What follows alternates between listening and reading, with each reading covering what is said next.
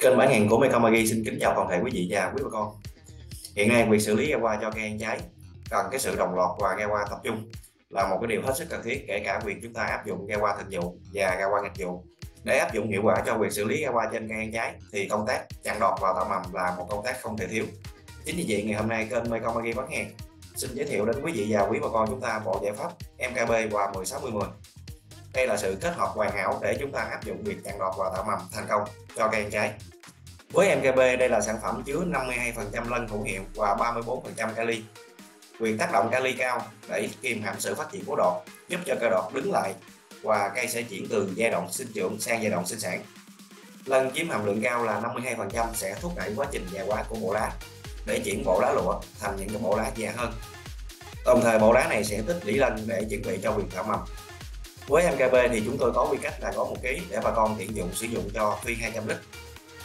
Với sản phẩm 10 60 10 đây là sản phẩm chứa hàm lượng NPK là 10 60 và 10 với hàm lượng lân là 60 phần trăm sẽ thúc đẩy quá trình già qua của lá. Đồng thời đây cũng là cơ sở để bộ lá tích lũy và thúc đẩy quá trình tạo mầm hoa của cây. Với 10 60 10 thì quy cách của Mekamagi là có một ký để bà con mình sử dụng tiện dụng cho phi 200 lít.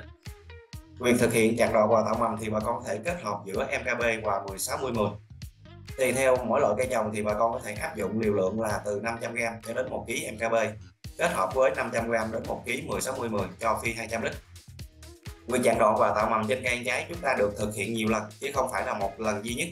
Chính vì vậy thì việc chặn đọt sử dụng MKB tùy theo sự chênh lệch của mỗi cây đọt và thời tiết có mưa hay không thì bà con có thể áp dụng từ 1 cho đến nhiều hơn. Việc tạo mầm sẽ tùy theo mỗi loại cây, có những loại cây chúng ta chỉ cần tạo mầm 1 đến 2 lần và sẽ tiến hành cắt cành à, có những loại cây thì cần cái sự tích lũy lên nhiều hơn thì bà con có thể sử dụng khoảng từ 2 đến 4 lần vì vậy sự kết hợp giữa MKB và 1610 sẽ được thực hiện như sau Việc chặt đọt có thể thực hiện từ 1 cho đến 2 lần tùy theo cái sự chênh lệch của cây đọt. Việc tạo mầm thực hiện từ 2 đến 4 lần tùy theo mỗi loại cây trồng. Chính vì vậy thì trong những lần đầu tiên thì bà con hoàn toàn có thể kết hợp MKB và 1610 trong 1 đến 2 lần đầu tiên.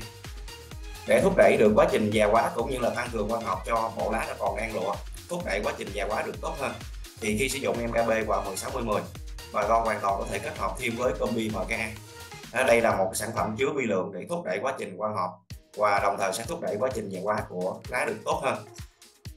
Kênh Mycomagi bán hàng xin cảm ơn quý vị và quý bà con đã luôn đồng hành cùng kênh trong thời gian vừa qua.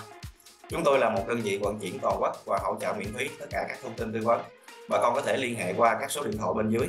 0989 89 3149 hoặc 0989 98 6549 để được tư vấn miễn phí. Chúng tôi có bán hàng qua thông qua các kênh thương mại điện tử như Lazada, Shopee, Sen Đỏ và Tiki. Xin chân thành cảm ơn sự ủng hộ của quý bà con chúng ta và mong được phục vụ quý bà con tốt hơn trong quá trình sắp tới. Xin trân trọng kính chào và hẹn gặp lại.